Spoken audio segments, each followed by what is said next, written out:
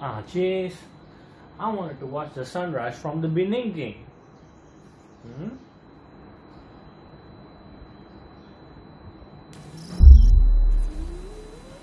Hmm.